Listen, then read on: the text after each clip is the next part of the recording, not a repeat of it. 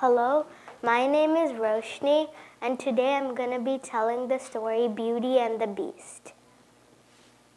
Once upon a time, there lived a merchant and his three daughters. One day, the merchant said, I'm going on a long journey. So he asked what their daughter wanted on his return. The first and second daughter said they wanted lovely dresses, but the third daughter, Beauty, said, Father, get me a rose. So the merchant said goodbye and left for his journey. The merchant got all the things for his elder daughters, but he couldn't get a rose for his daughter, Beauty. When he, when he was coming back home, he found a huge castle. When he went closer, the huge castle was surrounded by a rose garden. So he thought there he could get her a rose for his daughter Beauty. So he plucked a rose. Suddenly a furious looking beast dragged out of the bush and roared. Why did you steal my flower? I will kill you for this. The merchant begged the beast, Let me go, let me go, don't kill me. My three daughters are waiting for me at my house. I plucked this rose for my daughter Beauty. The beast said to the merchant, I will let you go for one condition. You have to let your da daughter Beauty stay here. The merchant promised and left home. When he came back home, he told all about the beast and the promise to his three daughters.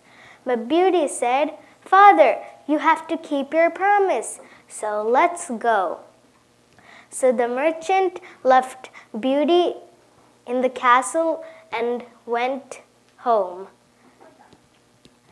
Beast treated Beauty very well. He even gave her a magical mirror so that she could see her father. Beauty was first afraid of the beast, but slowly she began to like him. One day, the beast asked Beauty, Will you marry me? But Beauty said, I can't marry a beast. One day, Beauty saw in the magical mirror that her father was ill. so she told the beast all that she wanted to go visit her home. The beast said, Will you come back in a week? I would be glad to come back in a week.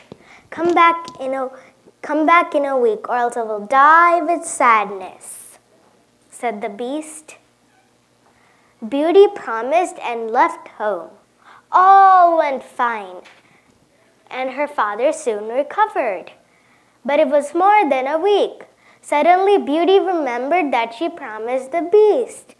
So she told her father, I have to go. I can't let the beast die. When she came back to the castle, she saw the beast lying on the floor. Oh, my beast, I'm here for you. I love you and I will marry you. The beast miraculously changed into a handsome prince. I was cursed all these years can, and can only be relieved when someone fell in love with me. Now I'm cured of the curse because you truly love me. The prince and beauty married and lived happily ever after. The moral of the story is we must not judge a person by their looks. The real beauty comes within. Thank you.